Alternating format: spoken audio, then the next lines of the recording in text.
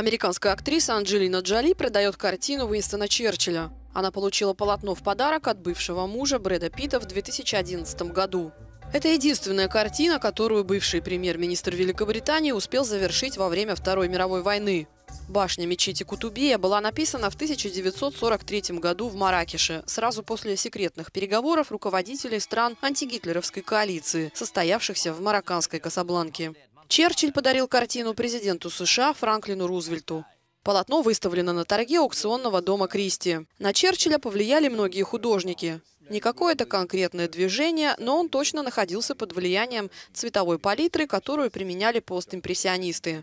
И он часто рисовал на пленере. Можно сказать, что влияние на него оказали импрессионисты. За свою жизнь Уинстон Черчилль написал более 500 картин. Торги пройдут 1 марта. Ожидается, что картина уйдет с молотка как минимум за 2 миллиона 800 тысяч евро.